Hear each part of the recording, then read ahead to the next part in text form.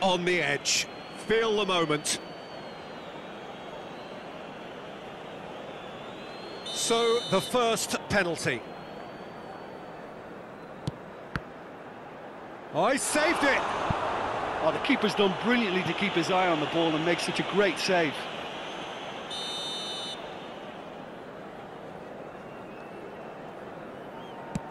Our keeper's gone the right way, but can't keep it out.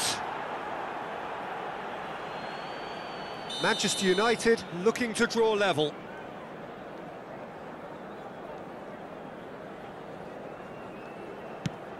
No, it's been saved!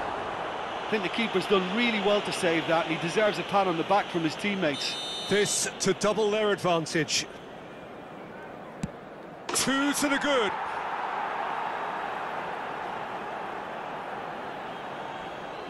Manchester United can't afford to miss another one. Keeper's read that beautifully.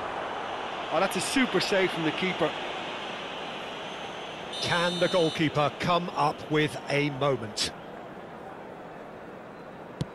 And that has lifted the roof. So after a grueling game that went all the way, the winner is decided on penalties. It is a horrible way to lose, and they are heartbroken. So there it is. What's